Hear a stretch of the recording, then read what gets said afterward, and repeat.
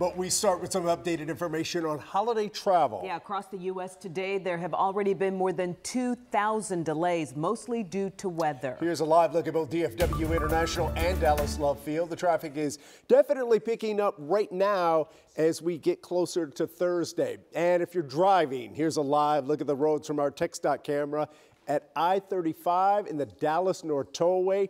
We still have a lot of people getting off work right now, mixing with visitors coming in to see family, as well as those folks heading out of town. But if you and your family are traveling by plane this holiday, you already know to expect longer lines and wait times this time of year. Janelle Ford joins us now live from Dallas Love Field. And Janelle, you've got some travel hacks to help make things go a little smoother for travelers. Yeah, I do actually. Um, it's funny because throughout the day here at Love Field, those long lines have kind of come in waves. If you look now, it's actually not that bad. But look, every year we give the same baseline holiday travel tips. Get to the airport two hours early. Make sure to double check when your flight leaves and out of what gate and have your airline's app downloaded with alerts turned on. But what I'm sharing today takes it a step further. The millions of people traveling through North Texas airports this Thanksgiving all want the same thing to get to where they're going safely and make it as less stressful as possible. It's easier said than done, but we went to both DFW Airport and Dallas Love Field to find ways that can make traveling this holiday a little easier. At DFW, download the airport app. On it, you can find flight information, prepay for parking, and check TSA wait times for all 15 of the airport's security checkpoints. It also has a list of vendors in the airport, everything from where to eat to where to shop. Preparedness is key.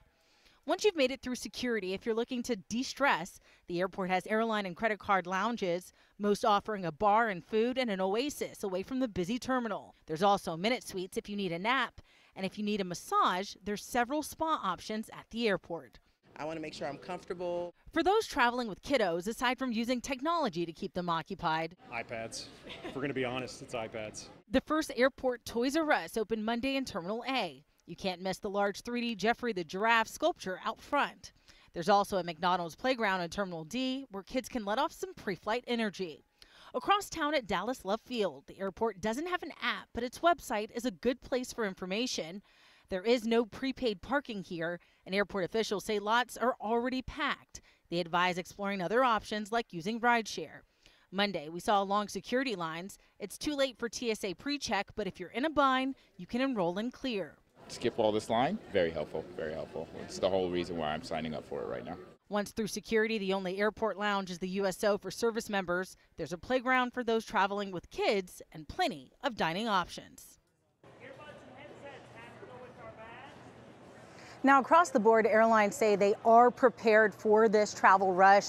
The big wild card here is weather, which we all know could cause a lot of issues.